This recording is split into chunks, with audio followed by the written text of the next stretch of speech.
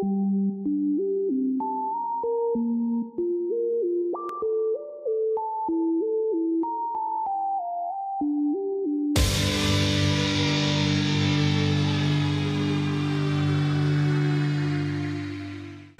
going on gamers? This is DBM Gamer here and today I want to show you guys a real quick uh, glitch trick that I figured out on the Hellmouth. Uh, this may apply to other doors uh, on other planets. I haven't tried all the planets yet but before I can show you that I've got to get to my shoutouts. My shoutouts is how I show appreciation back to the community that has gotten me this far and I want to give shoutouts to Dave Cummins, Ludo Lemons, Mr. Potato, Jesse Hayes, Brian Concar, Pedro Castro, Brightside246, Max Martez, and Scott Trudgeson.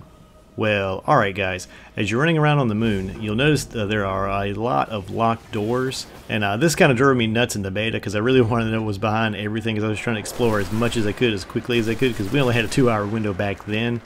Uh, but now we get pretty much free reign, we can kind of go wherever we want to now. Uh, but still, there's there's the locked doors. Uh, so I figured out a quick little trick. If you just walk up to any door, all you gotta do is just pull your ghost out and walk up to a door, and the door will magically open for you. Now this doesn't work for every door that you can walk up to, but it does work for quite a few in the Hellmouth as I, I was able to pop open a couple as you see. Then I went next door and well that door popped open for me as well. Uh, now these doors don't really lead anywhere. Uh, I think all they are are just spawn paths for enemies. But uh, still a pretty neat trick. I don't know if uh, Bungie's going to patch this or not. Uh, but you know, give this a try if you get a chance, guys.